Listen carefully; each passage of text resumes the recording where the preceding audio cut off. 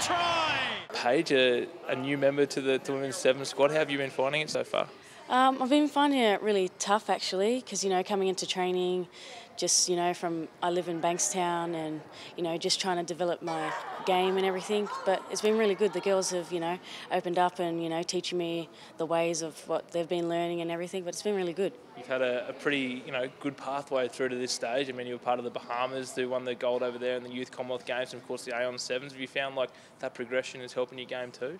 Yes, I think it's been helping a lot, especially you know coming into training with the Aussie Sevens girls, getting that development from the youth, then playing with some of the girls in the Aon Sevens, and then you know getting to train with the Aussie girls. You're moving on to Oceania next, so you know you maybe get a chance to pull on that green and gold with some of these girls who are Yeah. Olympic champions. How exciting is that? Oh, it's just so exciting because you know I went away to Bendigo with the girls, and which was really good. So I got to play with some of them there.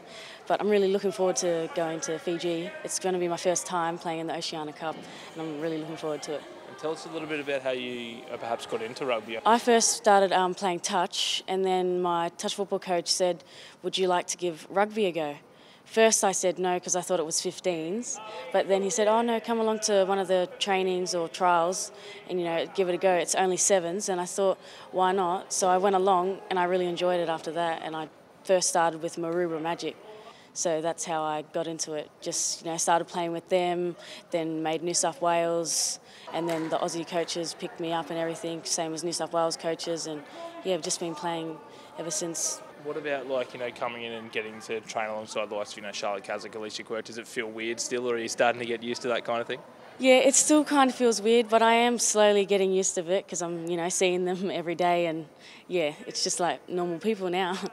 And I guess uh, you know when you watched the Rio gold medal happen, was that sort of like a I don't know, like a lightning bolt moment in your mind where you know I want to go to 2020, I want to be part of that that Olympic thing? Yes, it was definitely. As soon as I saw them win, I wanted to be there. I wanted to be in their shoes. You know, I want to get that gold medal at that. I want to be at that level that they are now.